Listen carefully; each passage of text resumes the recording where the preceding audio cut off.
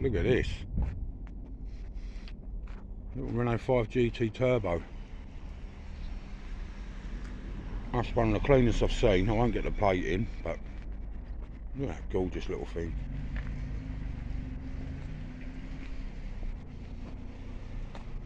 Absolute gorgeous little car.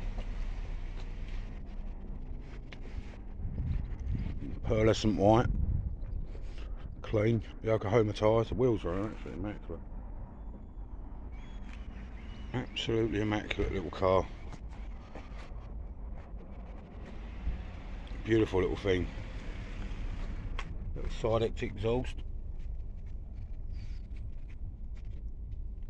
A beautiful little car. It's nice to see them.